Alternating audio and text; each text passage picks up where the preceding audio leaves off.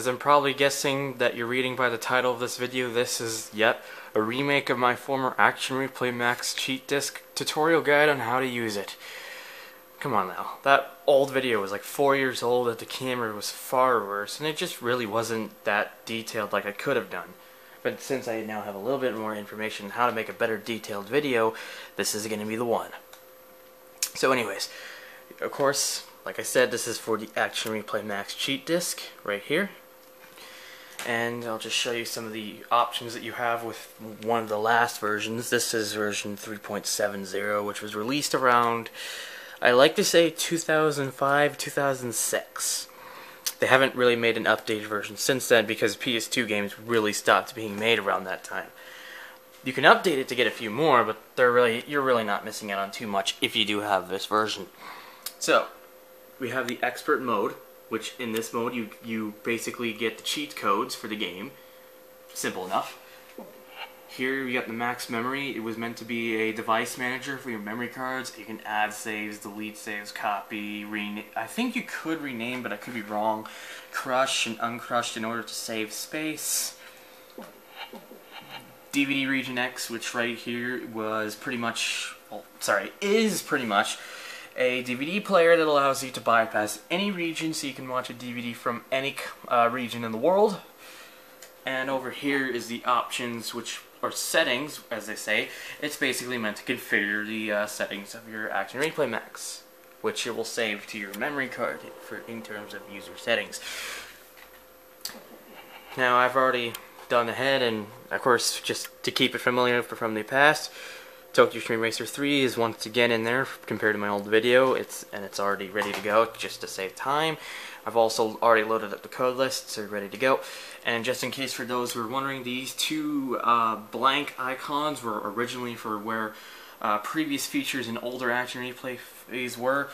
One of them was a some special media thing which you could play like special stuff including like emulators and you could actually use it for Free McBoot if you have one of the older ones. I used to but then the disc broke. And I think this one over here, I can't exactly remember what it was, but to my guess, I'm pretty sure it was uh, basically uh, a me messenger program, which probably wouldn't work anymore. I, of course, I could always be wrong. So we're going to go into the expert mode. Now, I did mention this in the older video that even though sometimes when you put the disc in, it's not always going to go to the game for some reason.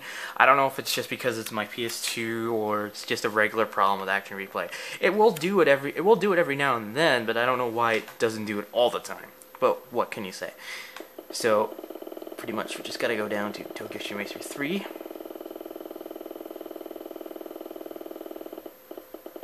It's a bit too far now. There it is, Tokyo Xtreme Racer 3. And basically, you get these uh, codes that are already in, put into the uh, cheat device. I didn't add them myself because this is a game from uh, 2003. They would already be included. We got max cash, basically infinite cash, and it gives you the max amount you can have in the game. Infinite SP, which means you can never run out of any SP when you face your rivals, which means you're always going to win. Easy wins just basically makes their your opponent's SP incredibly small, so it takes literally seconds to beat them.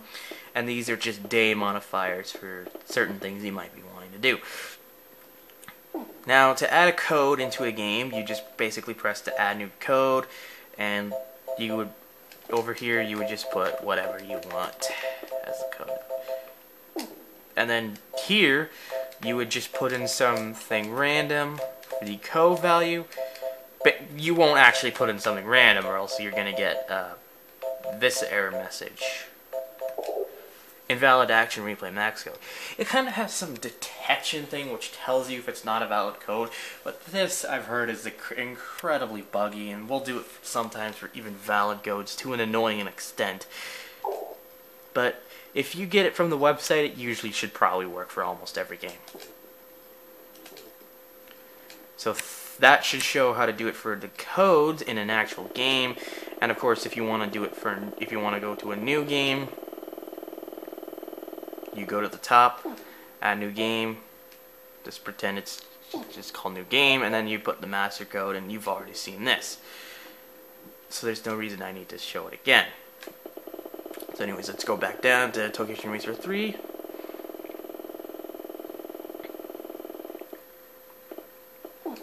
And we're going to put max cash and infinite SP.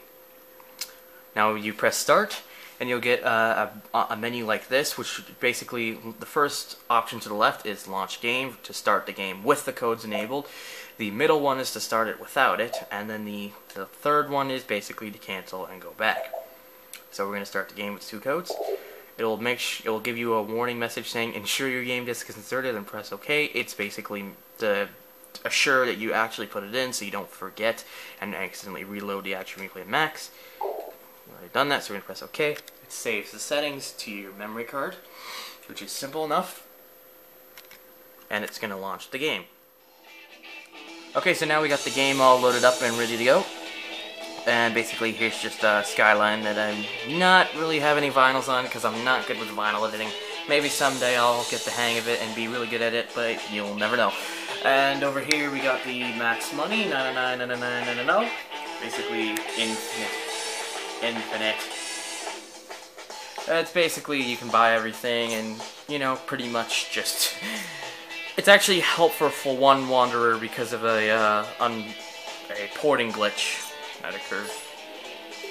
So I'm just going to quickly pop for Arrival to show you how it works in terms of the infinite SP. So let's just get... No, I don't want that guy.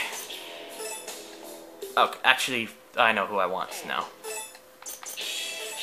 There we go. Ogre Deity.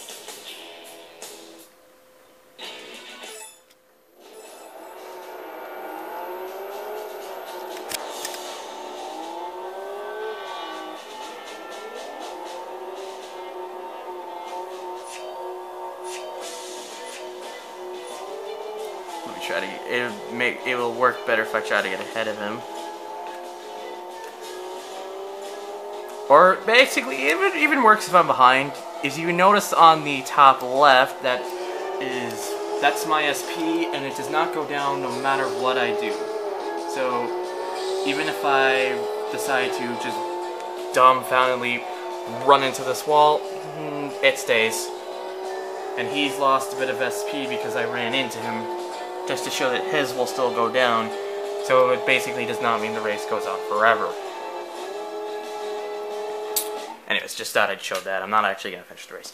Anyways, basically, hopefully this improved version of the action replay video will be a lot better to some of you and might help some of you understand a little bit better compared to my old video.